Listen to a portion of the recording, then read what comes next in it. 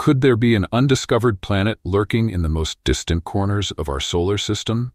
Many astronomers increasingly believe that the elusive Planet 9 is real. And this isn't mere speculation, it's a well-founded conclusion. The peculiar anomalies in the Kuiper Belt strongly suggest the presence of a massive celestial body hiding in this region. But there's more. A group of researchers is now confident that a hidden planet must exist at the edge of our solar system. What evidence led experts to this remarkable theory? Why hasn't Planet 9 been officially confirmed yet, and why is it so challenging to locate? Have you ever wondered where comets come from? If so, you're not alone. Dutch astronomer Jan Hendrik Oort shared your curiosity. Unsatisfied with the vague notion that comets originate somewhere out there, he proposed in 1950 the existence of a spherical region at the edge of the solar system. This zone, now known as the Oort cloud, serves as a natural reservoir for comet cores. However, while the Oort cloud explained the orbits of long-period comets, it left short-period comets a mystery. Enter Gerard Kuiper, who stepped in the following year to shed light on their origins. The Kuiper Belt is now a fundamental concept in astronomy, but its existence wasn't officially confirmed until 40 years later. This ring of icy debris lies just beyond the orbits of Neptune and Pluto, filled with comets, frozen chunks, and small planets. Yet, the most intriguing aspect is what might be hidden beyond it, a giant planet that continues to evade detection despite extensive research. But what evidence supports this intriguing assumption, and how plausible is it that we've overlooked a fully formed planet for generations? Surprisingly, it's not as far-fetched as it seems. The supposed planet would lie well beyond the orbits of Neptune and Pluto, so distant that it remains invisible even to the most advanced telescopes of our time. Fortunately, direct observation isn't the only method experts use in the quest for new planets. And if anyone can unravel the mysteries of the Kuiper Belt, it's Michael Brown. The American astronomer has spent years exploring the icy worlds at the farthest reaches of our solar system. Among his discoveries is Eris, the largest of these distant worlds, a name he could have just as aptly replaced with Pluto Killer. This discovery played a pivotal role in Pluto's reclassification as a dwarf planet in 2006, a decision that continues to spark debate to this day. Despite the controversy, Brown reflects on his groundbreaking find with a blend of humor and pride, even referring to himself as Pluto Killer on X. 2006 marked not only Pluto's reclassification, but also the discovery of distant detached objects that set a much larger astronomical journey in motion. These objects, also identified by Mike Brown, became the foundation of a groundbreaking study leading to a revolutionary conclusion. An entirely unknown planet might be lurking in the far reaches of the Kuiper Belt. Alongside his colleague Konstantin Batygin, the self-proclaimed Pluto killer delved into the mystery of the unusual orbits of these enigmatic objects. Follow-up studies revealed that six of these objects follow elliptical orbits pointing in the same direction, which was puzzling considering their varying migration speeds and differing orbit sizes. Adding to the mystery, their similar orbital inclinations were equally perplexing. All six celestial bodies have orbits that deviate by approximately 30 degrees from the orbital plane shared by other planets and objects in the solar system. Could this truly be nothing more than an extraordinary coincidence? Brown immediately dismissed this idea, estimating its likelihood at a mere 0.7%. He firmly believed it was not a possibility. At first, the mysterious Planet 9 was not considered the cause of the Kuiper Belt anomalies. Astronomers initially proposed that the gravitational influence of several massive objects, such as a cluster of dwarf planets, was to blame.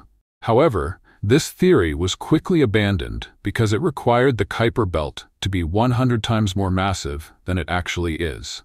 As a result, the mystery needed to be approached from a different angle. After conducting several simulations, Brown and Batygin reached a remarkable conclusion. All the observed anomalies could be accounted for by the presence of a planet approximately the size of Neptune. For this to hold true, its orbit would need to be positioned 180 degrees away from the remaining planets and Kuiper Belt objects.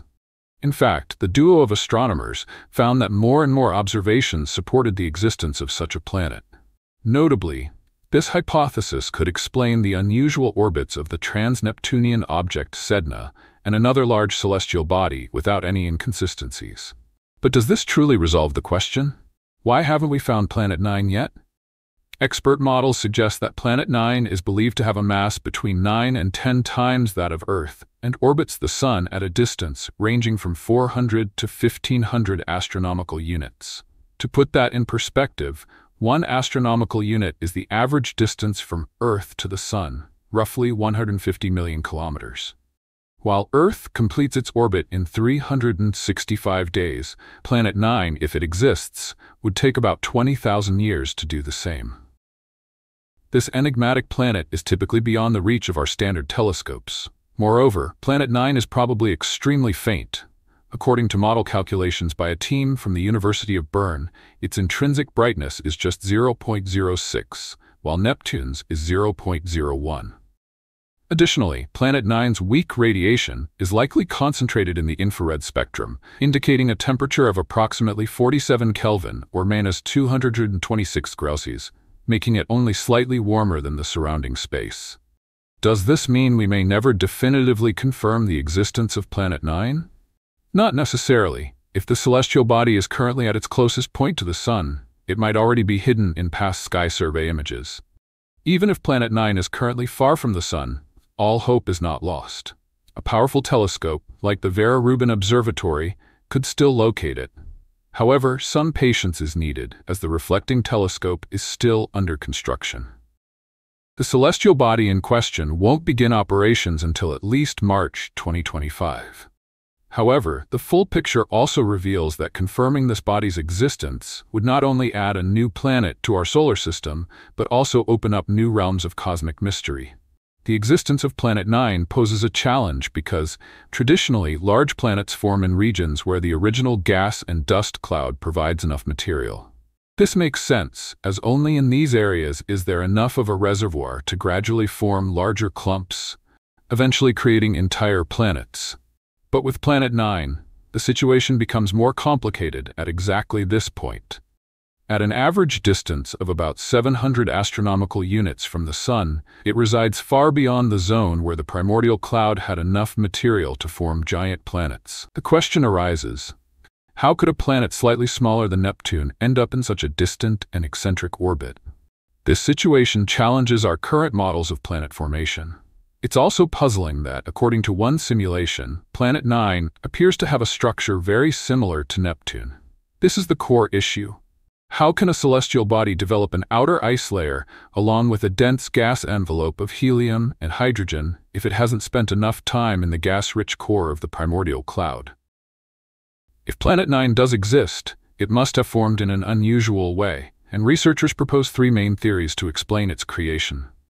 The first theory suggests that Planet 9 originally formed in a more typical, nearly circular orbit within the planetesimal disk. A nearby star's passage could have then gravitationally captured the planet and moved it to its current eccentric orbit.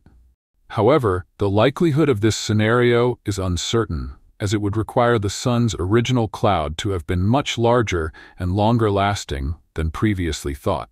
There's also the question of whether Planet 9 could have been entirely ejected from the solar system during a close encounter with another star.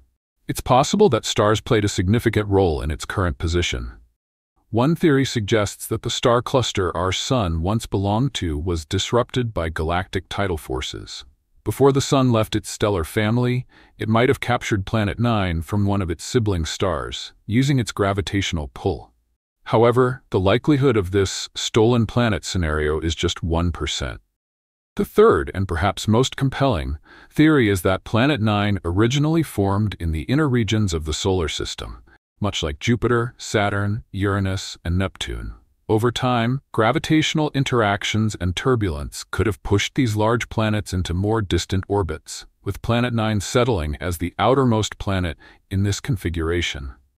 As a result, Planet 9 was pushed to the farthest reaches and eventually sent into an eccentric orbit. The crucial factor here is that it would likely have been ejected entirely from the solar system, unless its journey was slowed by the dense gas of the primordial cloud or by a close encounter with a nearby star.